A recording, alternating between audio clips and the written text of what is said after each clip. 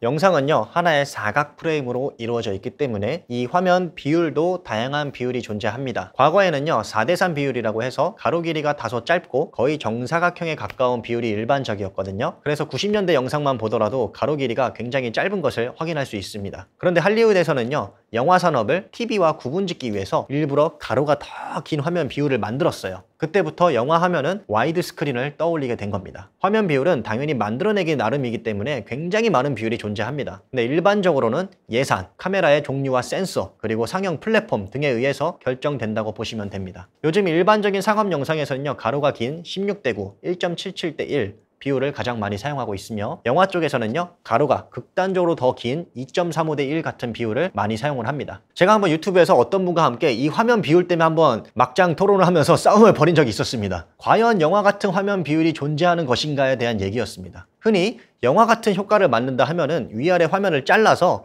가로 비율을 더 늘리고 콘트라스트를 많이 주는 방식을 취하는데 이 비율이 영화의 요소라는 것은 틀린 거다 라고 저한테 막 공격을 하시는 거예요. 물론 저도 그분의 말에는 어느 정도 동의는 합니다. 동의는 하지만 그렇다고 또 100% 완전히 동의할 수는 없습니다. 당연히 영화에는요 규정된 영화 비율이라는 것이 존재하지 않습니다. 2022년 현재도 4대3 같은 비율의 영화가 당연히 나오고 있고요. 화면의 비율을 영화의 요소라고 단정 짓기에는 너무 편협적인 생각이라고 볼 수도 있습니다. 하지만 저는 그건 또 사람들의 심리를 무시한 편협한 의견이라고 생각합니다. 바로 인지 심리학에서 출발하는 사람들의 심리인데요. 사람들이 어떤 한 장면을 보고 그것을 나름의 경험으로 추리하고 도출해내는 그런 심리를 말합니다. 즉 사람들은요 이제 2.35대 1 같은 비율의 영화를 하도 많이 봐가지고 영상에서 위아래를 잘라서 화면에 가로 비율을 길게 만들면은 그거를 영화 같다라고 인지한다는 겁니다. 자 그래서 예능 같은 프로에서도요 영화 흉내 낸다 싶으면 어떻게 하죠? 일단 위아래를 자르죠. 위아래를 잘라서 가로를 늘려버리는 효과를 사용합니다. 그게 바로 인지심리학에서 출발하는 영화를 대하는 일반인들의 심리이기 때문입니다. 그러므로 저는 화면 비율이 영화의 요소로도 분명히 작용을 한다고 말씀드리고 싶습니다. 좀 얘기가 다른 곳으로 했는데요. 어쨌든 간에 화면 비율은요 일반적으로 16대 9 비율을 사용하고요. 또 그렇게 촬영이 되고 추후에 편집과 가공을 통해서 자신에게 맞는 비율로 만든다는 겁니다. 자, 이 화면 비율 중에서 특히 2.35 대 1 비율을 영화에서 많이 사용을 합니다. 원래 현재 영화계에서는요, 2.39 대 1 비율을 가장 많이 사용하는데 그냥 관용어처럼 시네마 스코프다 그러면은 예전 초기에 2.35 대 1이라고 표현을 하기도 합니다. 이 비율은요, anamorphic이라는 특수한 렌즈를 사용해서 처음에 양옆으로 짜그러뜨려서 압축시켜서 촬영을 합니다. 그리고 나중에 편집 단계에서 그걸 다시 펼치는 거죠. 그렇게 사용하는 비율입니다. 훨씬 더 넓은 영역을 촬영할 수 있게 되니까 당연히 가로 비율이 훨씬 더 늘어나게 됩니다. 그래서 이 비율을 사용하게 되면은요 훨씬 더 높은 몰입감과 웅장함을 가지게 되기 때문에 영화에서는 2.35대 1 비율을 많이 사용하게 됩니다. 그래서 이 비율을 일명 시네마 스코프라고 부르게 되었고요. 요즘에 가장 대중적으로 영화에서 많이 사용하는 화면 비율이라고 보시면 됩니다.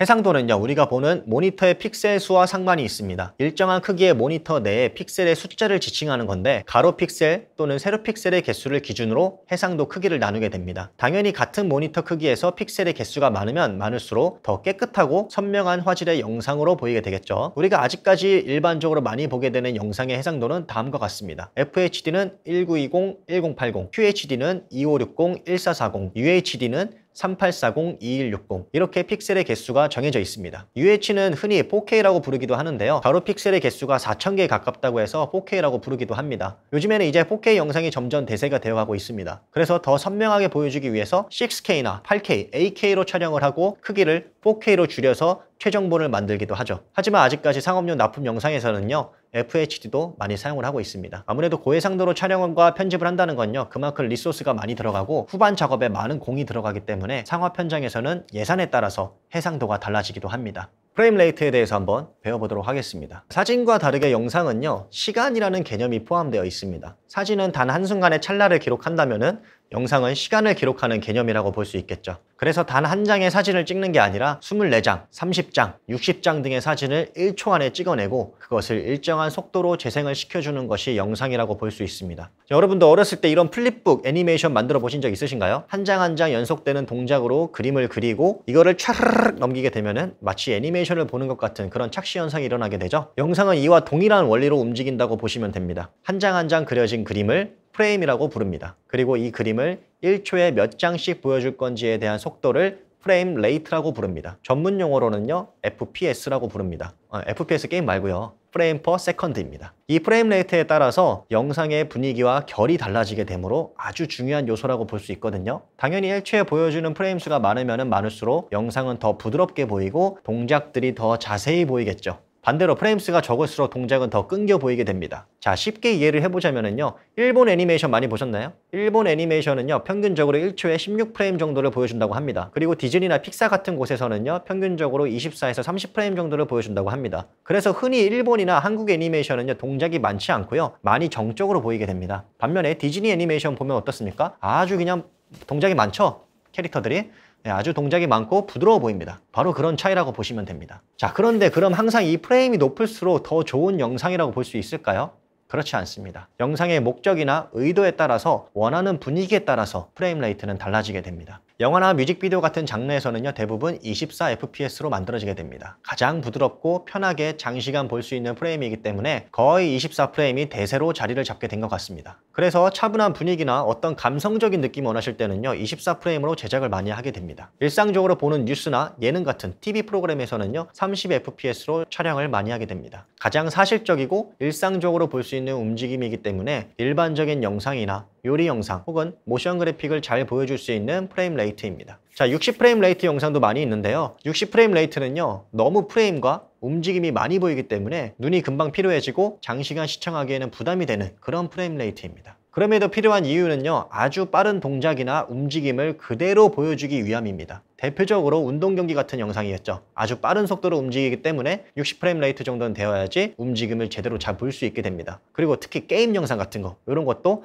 60Hz 이상은 되어야지 끊김없이 부드럽게 잘 볼 수 있게 되겠죠. 60 frame rate 같은 영상은요 또 그대로 쓰지 않고 프레임을 늦춰서 고속 촬영할 때도 사용이 됩니다. 한마디로 슬로우 모션을 만들 때도 사용을 하는데요. 다큐멘터리 같은 곳에서 많이 사용되는 frame rate입니다. 그래서 고속 frame rate에는 특별한 목적이 있는 영상 장르에서 사용된다라고 이해를 하시면 됩니다. 그런데 흔히 미러리스로 촬영을 하게 되면은 frame rate가 29.97, 23.97 이런 식으로 24, 30보다 조금 낮은 frame rate로 촬영이 되는 경우를 발견하실 수 있습니다. 이렇게 소수점으로 된 frame rate를요 drop frame이라고 부르는데요. 과거 아날로그 시절에 방송국에서 전송 속도로 인한 프레임 보정을 하기 위해서 만든 frame rate인데요. 요즘같이 디지털 시대 인터넷으로만 영상을 보는 현재는 사실 커다란 의미가 없습니다. 그동안의 관행에 의해서 그렇게 영상을 만들고는 있지만 drop이나 non-drop이나 아무런 상관이 없다고 보시면 됩니다. 자 그러면은 여러분들 여러분들은 어떤 frame rate를 쓰시는 게 좋을까요? 만약에 내가 영화를 찍는다. 아니면 감성적인 뮤직비디오를 찍는다. 아니면 뭔가 막 분위기 있는 그런 브이로그를 찍는다. 그러면은 24 frame rate를 사용하시면 좋고요. 그 다음에 일반적인 강의 영상, 그 다음에 설명하는 영상, 아니면 요리 영상, 일반적인 예능 영상 이런 거를 촬영하신다. 그럴 때는 30 frame rate를 사용하시면 좋습니다. 그 외에 게임 영상, 스포츠 영상, 아니면 다큐멘터리 같은 걸 찍으시면은 60 frame rate를 쓰시면 좋아요. 자, 그런데 제가 광고를 촬영하는데 만약에 좀 스토리가 있고 좀 무드가 있는 그런 광고를 찍는다. 그럴 때는 24프레임으로 찍을 수도 있고요. 아니면 웹드라마 같이 뭔가 스토리가 차차차 치고 나가고 드라마 같은 형태로 광고가 된다. 그럴 때는 30프레임을 쓰기도 합니다. 그러니 정해진 건 없어요. 여러분들께서 원하시는 분위기에 따라서 frame rate를 선택해서 사용하시면 됩니다. 이해되셨나요?